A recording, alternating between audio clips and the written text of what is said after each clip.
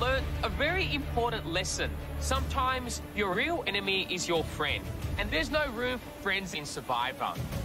George is a really close friend of mine, but Survivor is brutal, it's ruthless, and you have to be selfish. So I can separate my friendship with George from what might be the best move for me.